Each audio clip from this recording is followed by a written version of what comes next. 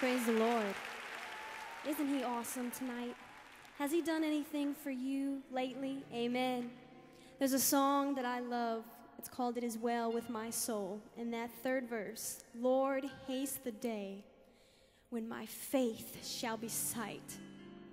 Hallelujah. We go through things in this life and we don't understand, but Lord, haste that day.